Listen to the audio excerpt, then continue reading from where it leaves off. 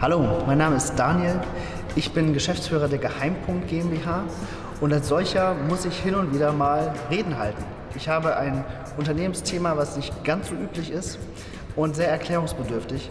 Deswegen bin ich bei den Toastmasters Mitglied geworden.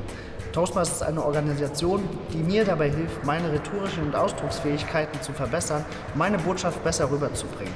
Deswegen komme ich sehr, sehr gerne zu den Toastmaster-Meetings, lerne da, wie ich meine Reden, meine Inhalte besser strukturiere, sodass mein Publikum mir besser folgen kann und das hilft mir tatsächlich, neue Aufträge zu generieren.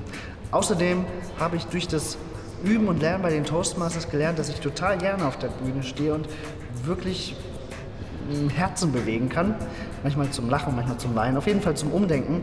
Und ich halte mittlerweile mehr und mehr Reden und kann mir vorstellen, dass das auch ein Karriereweg für die Zukunft sein kann.